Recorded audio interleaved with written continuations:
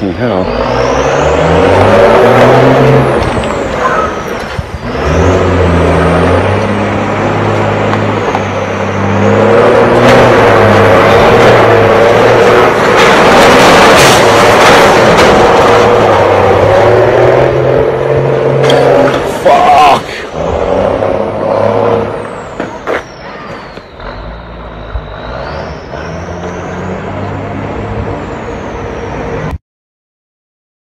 You don't know who's the man who's making things he wants you to see.